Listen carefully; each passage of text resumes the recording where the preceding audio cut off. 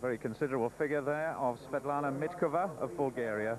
Very fine shot and discus thrower in fifth place at the moment. So she's got a bit of work to do.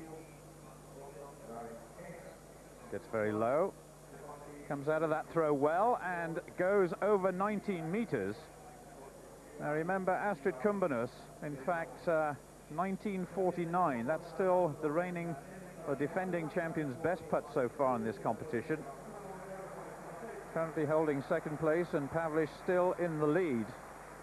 Eastern Europe really dominating here, as we've come to expect over the years. There's the stop board. But good technique from Mitkova. Very fine discus thrower as well, thrown well over six meters for many, many years now. But uses that powerful right leg and then the arm comes through. Still this surprise leader, Pavlysh from the Ukraine. What has the Bulgarian done? She's actually moved into second position with 19 meters 49.